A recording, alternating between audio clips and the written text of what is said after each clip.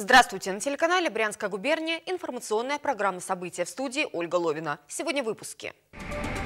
Занятия по физике, математике и информатике для школьников. Итоги работы Центров технического образования подвели в Брянской областной думе. Потоп местного масштаба. Почему из котельной на улице Дуки постоянно течет вода во дворы многоэтажек? Наше расследование. Хобби настоящего мужчины и мастера. Что можно сотворить в обычном гараже с помощью обычной сварки? Об этом в рубрике «Постскриптум». Самый душевный и добрый. 21 января во всем мире отмечают День объятий. Традиция зародилась в 70-е годы в США, но прижилась и в России.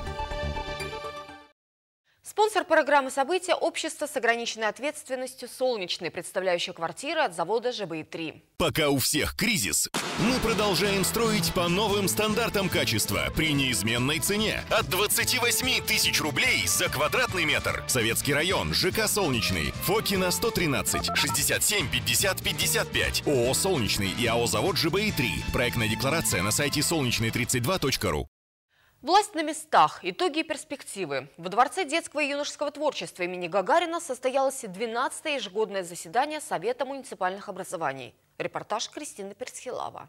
В зале главы поселков, городов и районов всего 289 представителей муниципальной власти. Ежегодное заседание по традиции начинается с подведения итогов. Это издача двух пристроек, школам в Клетне и Брянске и строительство новых развязок, мостов и дорог. И, конечно, значительные результаты в промышленности и сельском хозяйстве. Результаты социально-экономического развития позволяют с уверенностью сказать, что регион поступательно развивается.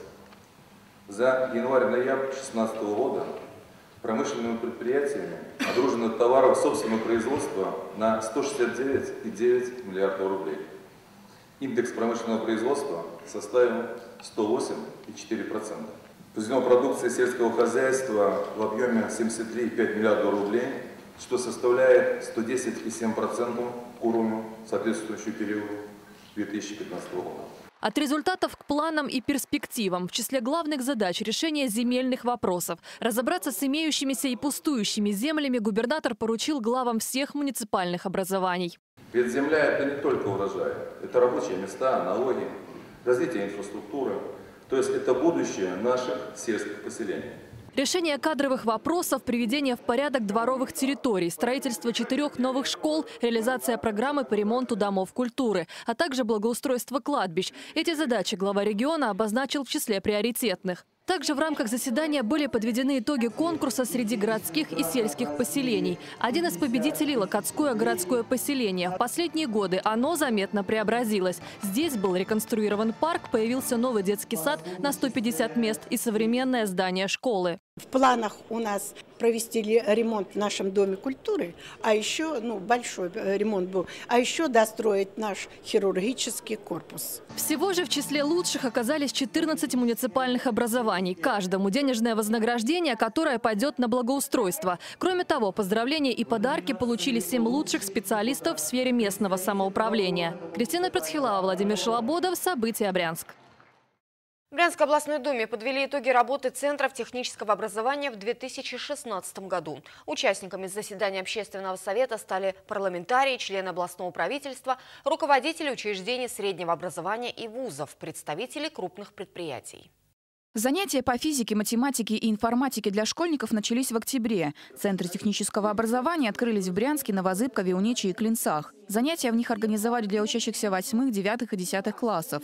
Одиннадцатиклассники за новыми знаниями отправились в вузы – Брянский государственный технический и инженерно-технологический университеты. Сейчас в центрах технического образования занимаются полторы тысячи человек. 83 школьника прекратили занятия из-за удаленности учреждений. В целом же посещаемость центров достаточно высока.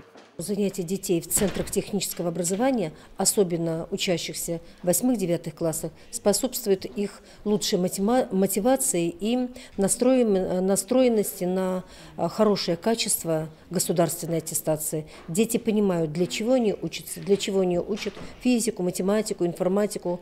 Они связывают это со своим будущим. Как показала промежуточная аттестация, лучше всего школьникам даются информатика и физика. 96% обучающихся получили по этим предметам зачет.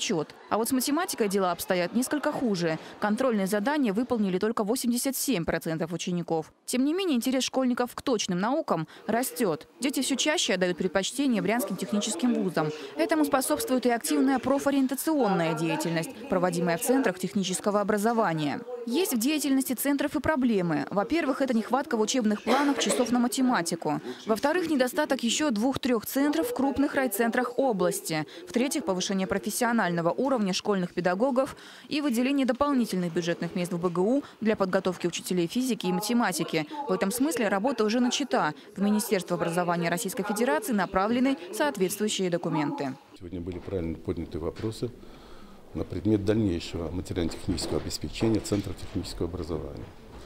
А, в программе Брянской области заложено 5 миллионов рублей, но это в основном на заработную плату, больше на обеспечение Центра технического образования. А вот что касается материально-технического образования, мы сегодня обратились к Ассоциации промышленников, чтобы они собрали определенные финансы и обеспечили кабинеты физики, информатики, математики теми техническими средствами обучения, которые необходимы. От руководителя Брянского отделения Союза машиностроителей России Олега Данцева, являющегося одним из инициаторов создания Центров технического образования, поступило предложение по организации детского технологического парка. По его мнению, такой формат может вывести работу по подготовке молодых кадров в регионе на совершенно новый уровень. Участникам мероприятия идея понравилась. Светлана Маркелова, Владимир Сидоров. События Брянск. Она была, она работала, согревала тепло, давала работу специалистам, но ее больше нет. Она плачет и своими слезами заливает близлежащие дворы. Котельная около дома номер 64 по улице Дуки стала проблемой для жильцов этого дома. Трубы рвутся, регулярно заливают дворы горячей водой. В причинах коммунальной катастрофы местного масштаба попыталась разобраться Евгения Гриненко.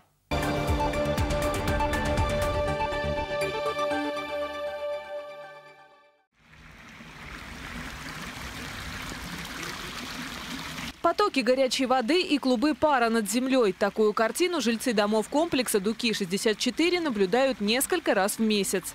Проблема с Брянскоммунэнерго. Вот с этой старой котельной, э, с которой постоянно прорывает э, горячую воду, и горячая вода льется у нас здесь по нашей территории, по асфальту.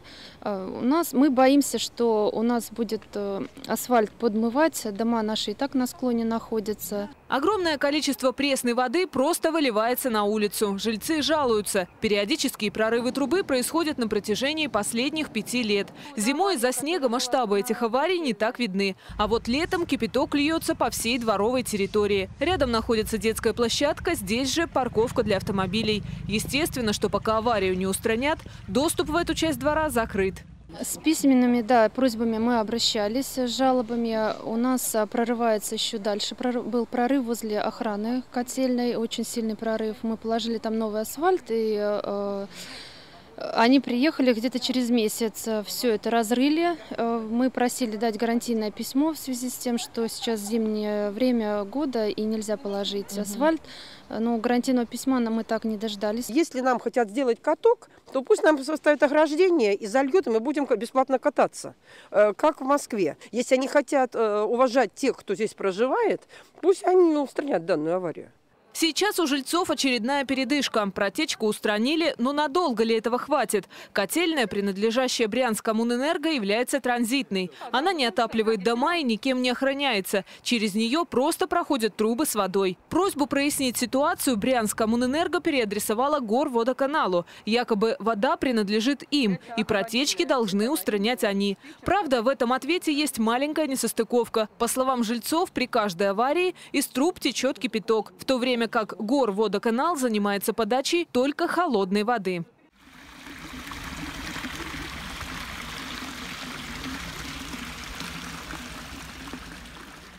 Попытках разобраться с этой ситуацией жители потратили не один месяц. По их словам, в последнее время ждать ремонтную бригаду приходится все дольше. Иногда вода может течь несколько дней. Но своих намерений решить эту проблему жильцы не оставляют. Если аварии будут приносить весомые убытки, придется обратиться в прокуратуру.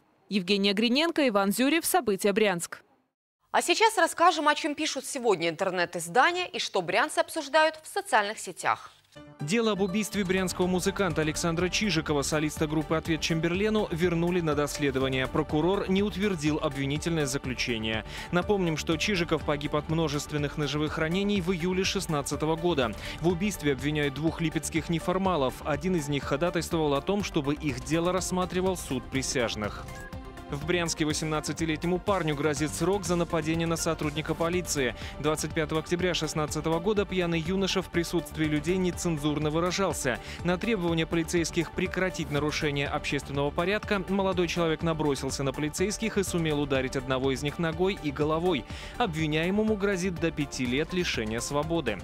Разыскиваются свидетели ДТП. 10 января около 8.30 утра на перекрестке улиц Красноармейской и Ромашина столкнулись Nissan Кашкай и ВАЗ-2105. Пострадавших нет, но автомобили получили механические повреждения. Для установления обстоятельств происшествия необходимы записи с видеорегистраторов. Кто готов помочь, обращайтесь по телефону 8 960 553 0175. В Брянске сняли на видео очередных дрифтеров. Экстремальные гонки водители устроили на кольце телецентра в советском районе Брянска. Машины отечественные старые шестерки. Как говорится, дешевле тачка, больше понтов. Ждем реакцию ГАИ.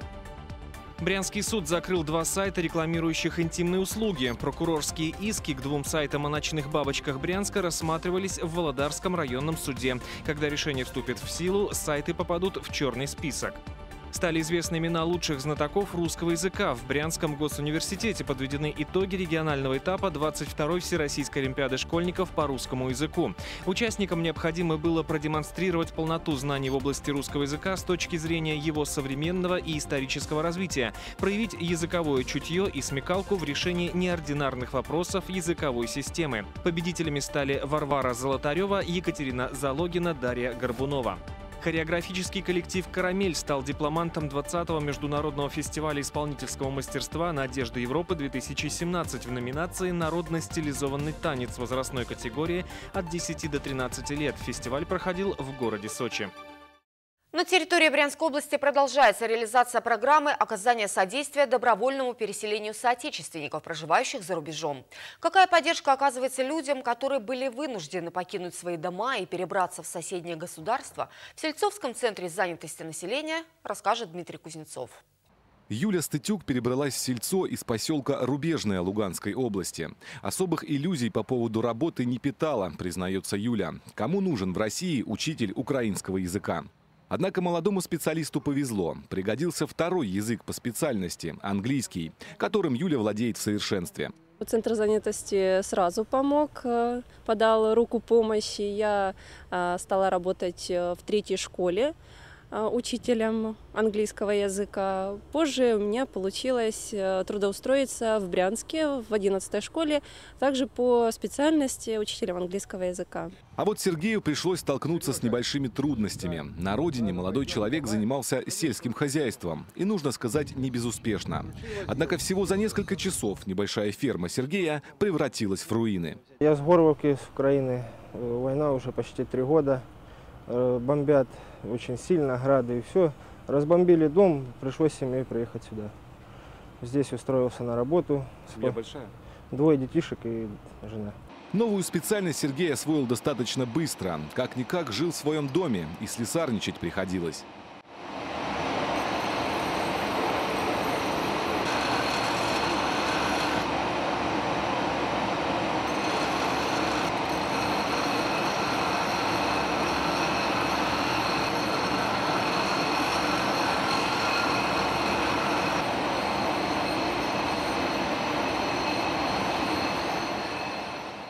Адаптироваться вообще было несложно. Коллектив замечательный, научили меня сразу всему, как бы. Ну, работа в основном, как бы сказать, несложная. Работать можно. Постепенно учимся нормально. Работаю слесарем здесь долгое время уже. Знаю, как пришли ребята, как пришел к нам Сергей. Он начал работать с большим рвением, освоил профессию. И сейчас приходит в любое время. Мы, наша работа такая, что работаем и ночью вызывают. И все, он все время выходит и работает. Э, глядя на него, можно сказать, растет настоящая замена старшего поколения.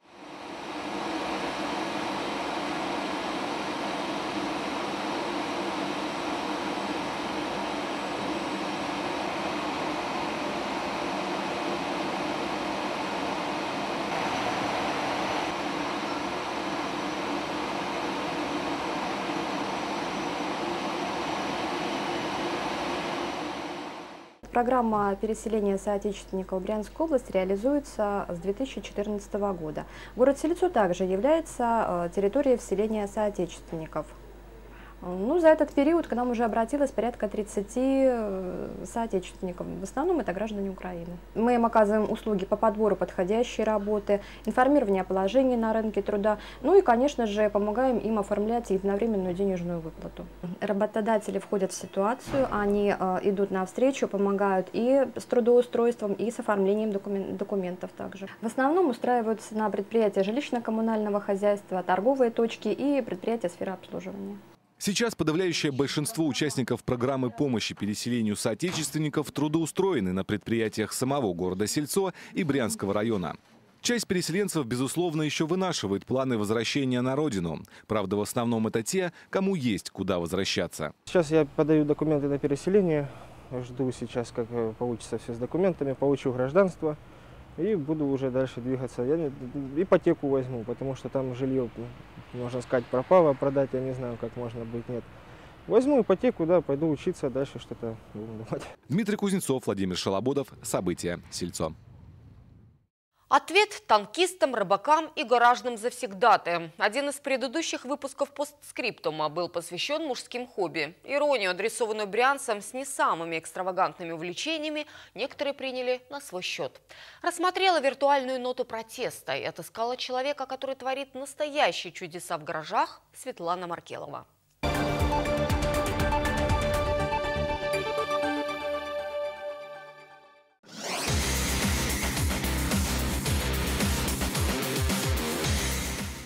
Свечи, подшипники, гайки и болты. В руках мастера даже откровенный хлам обретает вторую жизнь.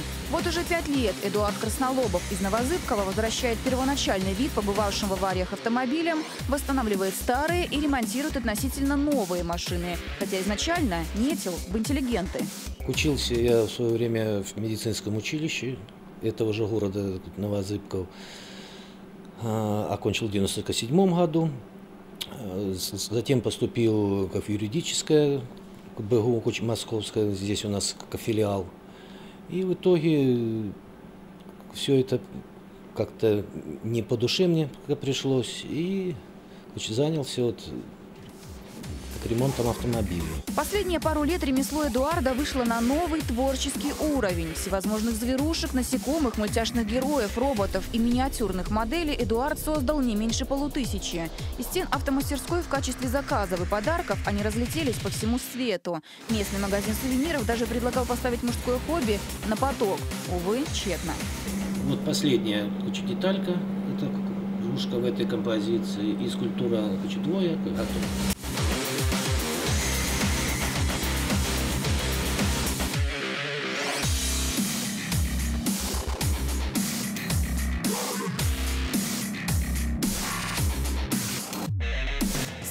Крупные работы металлического робота и такого же рыцаря Новозыбковец оставил себе. Фигуры в человеческий рост украшают двор и ждут пополнения коллекции. Приступить к созданию трехметрового трансформера автобота Эдуард Краснолобов планирует с приходом тепла. Деталей, говорит, пойдет не меньше тонны. Материалы используются в основном бэушные. Это, ну, как от, которые как отслужили как свое уже как на автомобилях там шаровые опоры, рычаги всевозможные, ступицы и так далее. Есть очень множество, там и огнетушители, и все такое. Как огнетушители, вот можно миньона, также из газового баллона, как все зависит от размера поделки, что в ней увидеть. Поверили в незаурядность гаражных завсегдатаев и готовы пообщаться с не менее увлекающимися земляками Светлана Маркелова, Максим Кузнецов. События Новозыбков. Самый душевный и добрый. В субботу во всем мире отмечают День объятий. В этот праздник принято обниматься и с близкими, и с незнакомыми людьми, чтобы поделиться своим теплом. Традиция зародилась в 70-е годы в США. Ученые говорят, что искренние и радостные объятия не только дарят хорошее настроение, но и улучшают самочувствие, повышают иммунитет и уровень гемоглобина, а также гормона окситоцина. В этот день во многих странах, в том числе и в России, проходят специальные акции и флешмобы. Обниматься с незнакомыми людьми в этот день не только можно, но и нужно. Праздник, ставший популярным во всем мире, неизменно вызывает улыбки прохожих. И, конечно, поднимает настроение и участникам, и зрителям. А главное, в пользе объятий не сомневается никто. Чтобы чувствовать другого. Наверное, для счастья, чтобы любили друг друга. Чтобы счастливым быть. быть да. Для того, чтобы не чувствовать себя одиноким. Вот, чтобы, не знаю, испытать какое-то тепло, которое отходит, исходит от людей. Сейчас можно с уверенностью сказать, праздник, зародившийся в Америке, прижился и в России. В разных городах страны ежегодно проходят флешмобы и акции. Кто-то ходит с плакатами «Бесплатные объятия», кто-то надевает костюмы сказочных персонажей. Возможно, так легче расположить к себе незнакомых людей.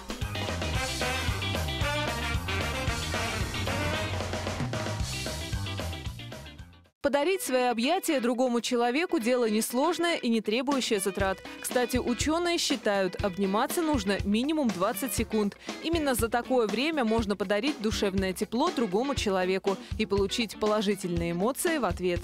Евгения Гриненко, События Брянск. Принимали ли вы участие в крещенских купаниях? С этим вопросом мы обратились к посетителям нашего сайта губерния.тв. Самым популярным стал ответ «не делал этого никогда». Таких оказалось 45%. 27% делают это не каждый год, но периодически. 18% опрошенных ограничиваются умыванием святой водой дома. 9% отважились на омовение в Иордании лишь однажды в жизни. А вот вариант «делаю это каждый год» не набрал ни одного голоса. Мы благодарим всех, кто голосовал. Нам всегда интересно ваше мнение. Участвуйте в наших еженедельных опросах на сайте губерния.тв. А на нашем сайте вы можете посмотреть все наши новости и программы. Также присоединяйтесь к нам в соцсетях, ВКонтакте и Facebook. Телефон редакции 306 696. Это была последняя информация выпуска. Я с вами прощаюсь и желаю всего доброго. До встречи. Одежда ведущим предоставлена магазином «Оджи». Бум-Сити, второй этаж.